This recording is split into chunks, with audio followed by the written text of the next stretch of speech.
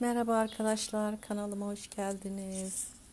Ben toprağımı hazırladım, kasamı hazırladım, bebeklerimi diğer kasaya toparladım.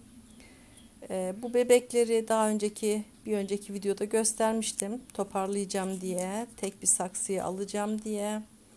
Ee, gördüğünüz gibi rengarenk bebekleri toparladım. Bazı yaprakları şöyle kesmek istiyorum. Bunlar kök yapmışlar arkadaşlar. Yapraklardan dolayı da e, kasaya dizmek e, yine yer açısından bana sıkıntı yaratacak. Bunları böyle almakta hiçbir sıkıntı yok. Çünkü yarısı kurumuş olan yapraklar. Bazı yapraklar e, daha diri duruyor. Mesela bunun gibi, bunun gibi. Bunlara dokunmayacağım bunlar falan. Bunları da yine gruplandıracağım kendi arasında. Ee, yani yapraklıyla yapraksızları, kurumuş olanları, kurumayanları dikerken ayrı ayrı dikeceğim. Ee, bugün hava çok güzel, güneşli, yağmur yok. Ee, dolayısıyla attım kendim balkona. Bakın böyle bebekleri toparladım. Ee, Umarım bundan sonra artık güneşli havalar olur. E, sukulentlerimiz de artık büyümek istiyorlar. E, havalar ısınınca da e, büyümeleri hızlanacak. Echeveryalar artık e, uykudan uyandılar. E, büyümeleri hızlanacak. E, ama graptolar tabii ki bu sefer dinlenmeye geçecekler. Dolayısıyla artık işlerimiz daha keyifli olacak. Balkonda çalışmalarımız daha keyifli olacak.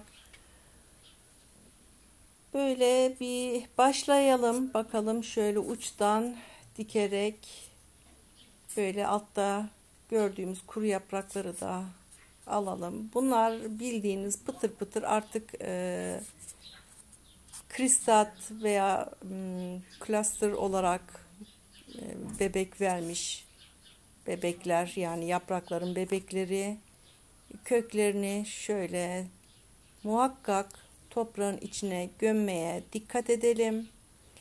Toprağım yeni hazırladığım toprak kokopit ağırlıklı yumuşak ama içinde tabii ki geçirgenliği var mı? Var. Drenajlı toprak içinde kiremit irmiği, lav kırığı, e, toprak hazırlama videolarım var. Bakarsanız hepsi içinde e, izleyebilirsiniz, görebilirsiniz. Arkadaşlar nasıl kokopit hazırladığımı da e, çektim.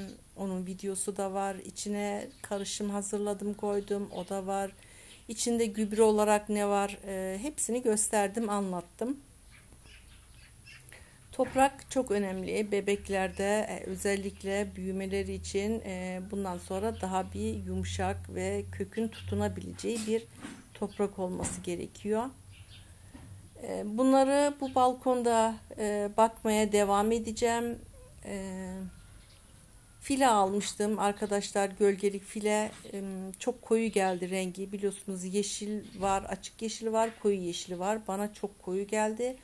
O koyuluk da e, bebeklerimin üzerinde e, olumsuz etki yapacağına inanarak geri iade ettim onu. E, yani aklımdan e, yine tül perde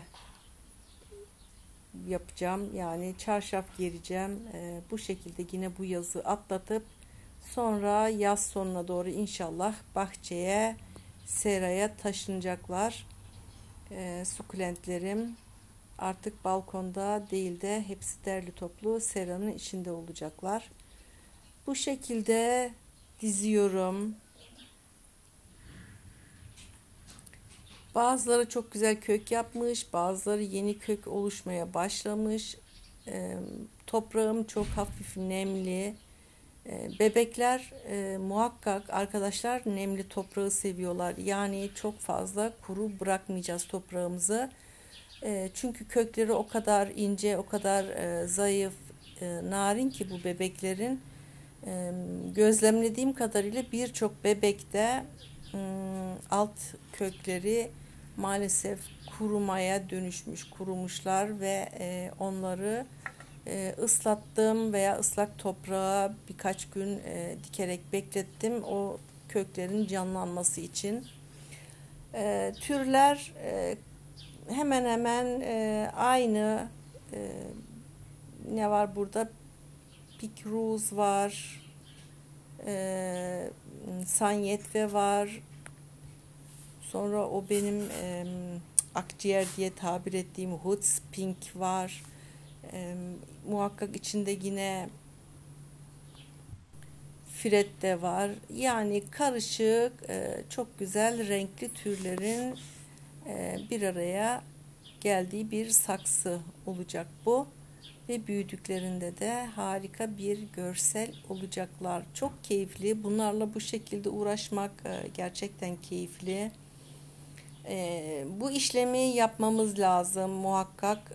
Yapraklar kuruduğu zaman saksılarımızda boşluklar oluşuyor. Boşlukları e, tamamlamamız gerekiyor. Eğer tamamlarsak da bize yer açılıyor arkadaşlar. Şu an elimde 3 tane kasa boşaldı. Daha da e, arka uçta olan e, kasalarım var. Onları daha ele almadım. Onları da ele alacağım. E, biraz toparlanacak balkonum. Yer açılacak. Hareket e, alanı olacak benim için de. Dolabın içinde e, ziraydon örtülerim vardı arka raftaki e, çiçeklikte. Onları aldım oradan. Oraya da birkaç kasa koyabileceğim. Orada da yer açıldı.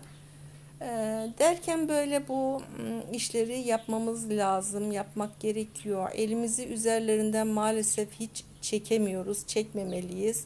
Eğer bu hobiyi yapıyorsak, bunları seviyorsak, Bunların e, o güzel hallerini görmek istiyorsak da ilgilenmemiz gerekiyor.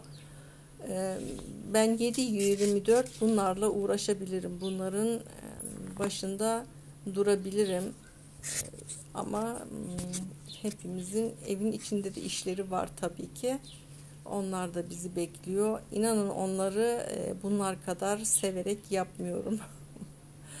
Bunları daha çok seviyorum beni rahatlatıyor. E, ne bileyim kafam dağılıyor. E, bu güzellikleri görmek e, beynime olumlu etki yapıyor. Bilmiyorum yani ben huzur buluyorum bunlarla uğraşmaktan.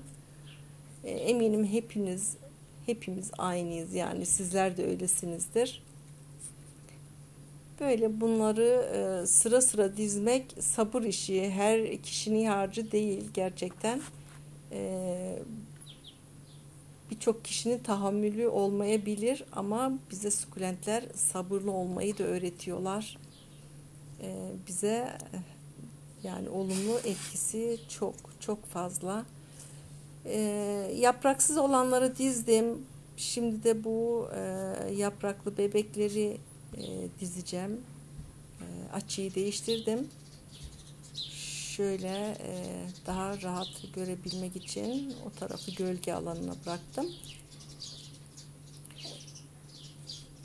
Köklü olanlar var. Kökler bayağı olmuş. Ucunda bazılarının bebekleri minnacık. İşte e, iki grup oldu. Bunlar burada büyürken e, diğer taraftaki diktiklerim de önceden büyüyecek. Gibi gibi böyle işte aşama aşama bu hale getirdik. E, orta kısmını da tabii boş kaldı yine dolduracağım. Böyle safları biraz e, sık diktim. Yine bunun yaprakları da kuruyunca arkadaşlar burada yer açılacak. E ne olacak o zaman da yine bunları da söküp tekrar bir toprağımızı havalandıracağız. Tekrar dikeceğiz. Böyle böyle büyüdüklerini göreceğiz inşallah. Şu rengin şu anki renk e, uyumuna, güzelliğine bakmak bile, görmek bile yetiyor yani bana göre. Burası boşaldı böyle. E, bunu alacağım buradan. Daha sonra e, ki saksılarımı ele alacağım. Bu arayı dolduracağım. Bakın şu şekilde buradan yine bir saksı getirdim. Arada yaprağı kurumuş olanlar var. Bunlardan da böyle ayırarak, ayıklaştırarak e, aktarmalar yapacağım. E, bakın bu da yine o diktiğim türlerden böyle buraya dikmeye devam edeceğim. Dolduracağım burayı da.